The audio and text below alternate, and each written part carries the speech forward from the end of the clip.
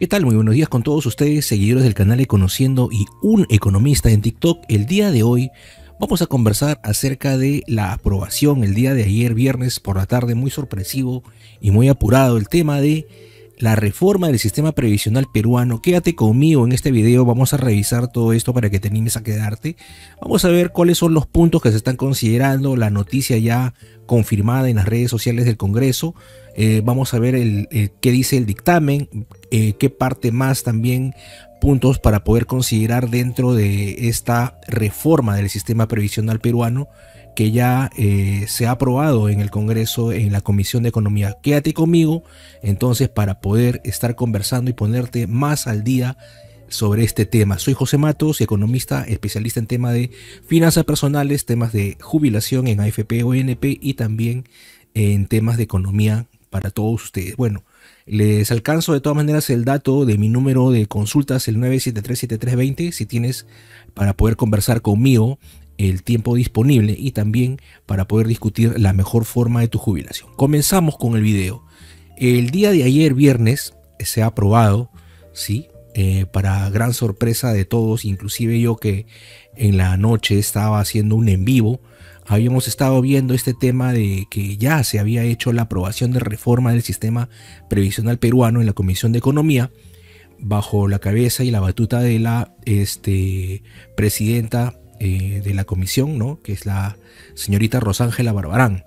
Vamos a ver de qué trata un poco y vamos a ver cómo ha acontecido todo esto en los medios. ¿no?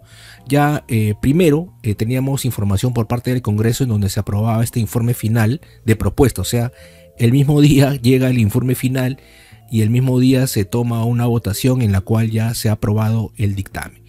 ¿Cómo, cómo pasó esto? bueno, sucedió eh, mediante una votación en donde por mayoría, con 14 votos a favor y 9 en contra, este dictamen fue aprobado. ¿no? Esta propuesta tiene por objeto efectuar modificaciones en los sistemas tanto de ONP como en el de AFP, así como también incorporar un régimen de aportes complementarios a aquellos aportes obligatorios dispuestos en dichos sistemas. ¿Cómo así? Personas que antes no han estado aportando pasarían entonces a aportar para poder lograr la ansiada pensión, ¿no? ¿Qué más? Eh, eh, se quiere un poco tomar el tema del el artículo 10 de la Constitución, como ustedes sabemos, toda persona tiene derecho a poder tener una pensión justa, ¿no? Entonces, en eso va un poco uno de los pilares de esta reforma. Eh, ¿Qué es lo que más o menos quiere darnos a entender o qué es lo que está proponiendo, no?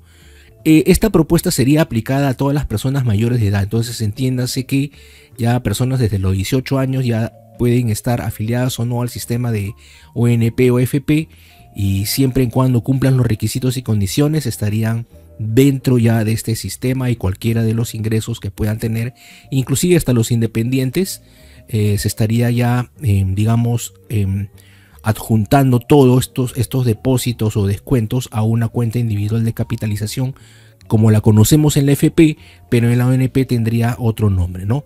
Este dictamen, como lo estoy mencionando, establece la modernización del Sistema Nacional de Pensiones mediante la sustitución del régimen de reparto en la ONP, acuérdese, por un régimen de asignación de cuentas individuales, ¿no? La llamada SICA.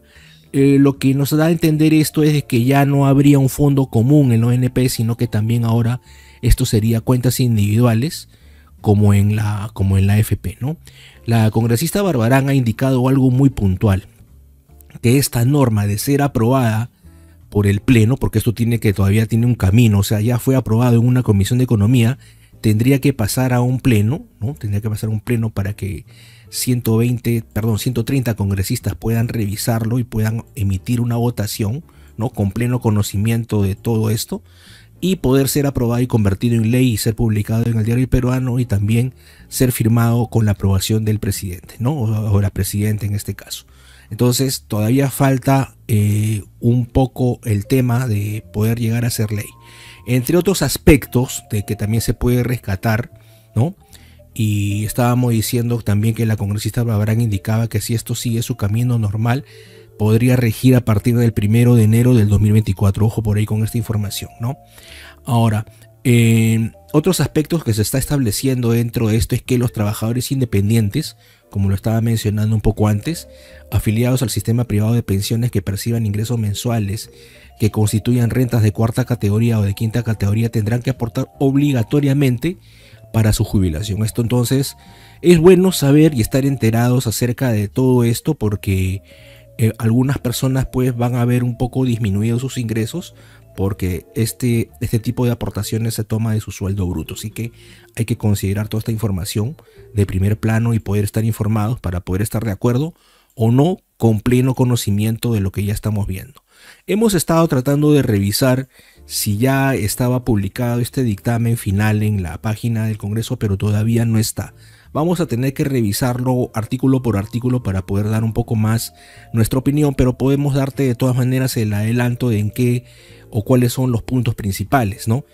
Eh, lo que ya se ha facilitado en las redes sociales es un poco la información por parte de el Congreso en donde se indica lo siguiente, ¿no? Vamos a ver, en la primera parte indica qué propone el proyecto de ley de reforma del sistema peruano previsional. Uno, cuentas individuales para todos los peruanos, ya lo hemos explicado un poco. Competencia entre las AFP porque habría pues ahora cuentas individuales en ONP, ¿no? Eh, que posiblemente se le cambie de nombre, y cuentas individuales también en la FP, e, y entrarían a tallar algunas entidades de seguro y entidades financieras para que también se pueda lograr colocar eh, los fondos. Esto todavía no nos queda muy claro, pero estamos a la espera de poder revisar todo el documento. Se crea el Fondo Solidario de Pensiones Fonsol. Eh, este es un fondo que, que es muy similar al fondo común que tiene la ONP, para que las personas que no logren alcanzar el tema de la pensión mínima, que también existe dentro de este, esta nueva reforma, entonces se pueda llegar a utilizar. Luego tendríamos, claro, muy ligado a este tema, la pensión mínima para aportantes, que tendría que ver mucho con el cálculo del Fonsol. Vamos a ver cuántos millones estarían disponibles para el Fonsol y, de dónde se sacaría este dinero, también tendría que quedar un poco más claro. ¿Qué más se puede considerar aquí? Pensión por consumo, ¿no? Tres puntos del IGB para aportantes. Estamos viendo que acuérdense que el IGB forma parte eh, casi uno de los pilares básicos para el ingreso público, el ingreso del gobierno, pero del cual se va a coger tres puntos del IGB. Entonces, vamos a ver cómo lo toman esto en el, en el pleno para poder deliberarlo, ¿no?